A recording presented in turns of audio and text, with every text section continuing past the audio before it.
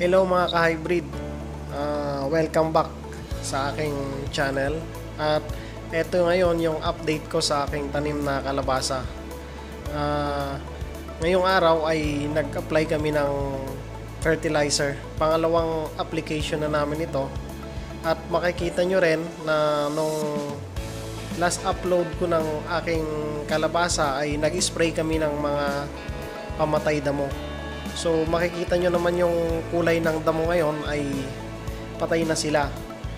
At ngayon nga ay naglagay kami ng fertilizer.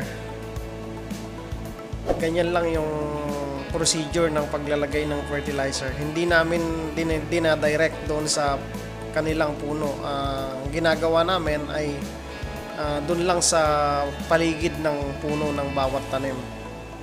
So, ang aking tanim pala ay nasa 2,300 na puno.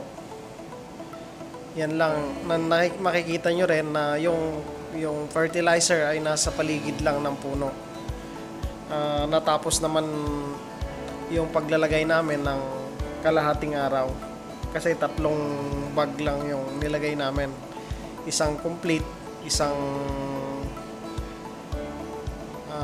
urea at isang 1620. So, maglalagay pa kami ulit ng isang application pa para sa sa baon niyang bago siya bumunga.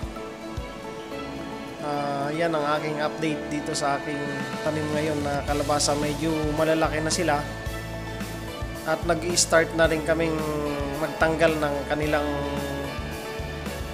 ah, mga talbos. At ito rin yung update sa aking mga alagang manok.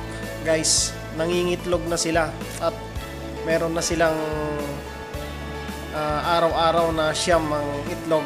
So parami ng paramihan dahil nasa more than 50 heads yung aking alagang manok na Rhode Island Red at Plymouth at yung Black Astrolop.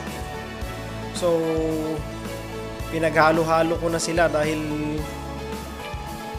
ah, masyado silang marami. So yan lang yung aking update guys sa aking tanim na kalabasa at yung aking alagang mga manok. Maraming salamat.